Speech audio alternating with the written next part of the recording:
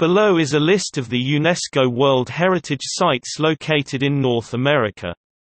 Greenland has been included here as part of North America despite its cultural and political associations with Europe. Mexico leads North America hosting 35 sites, and is ranked 7th in the world.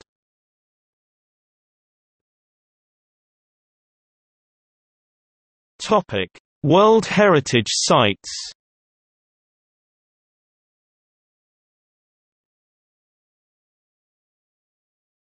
Topic: Legend.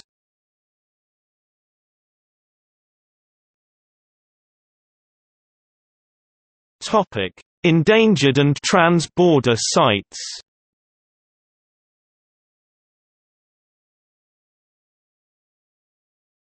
Topic: Additional information.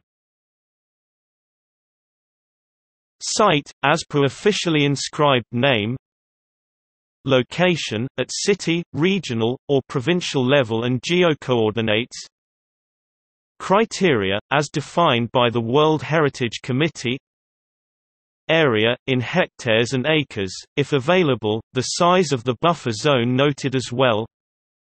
Year, during which the site was inscribed to the World Heritage List Description – Brief information about the site, including reasons for qualifying as an endangered site, if applicable.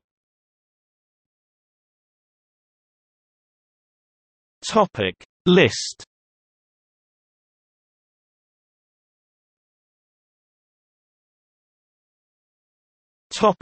See also.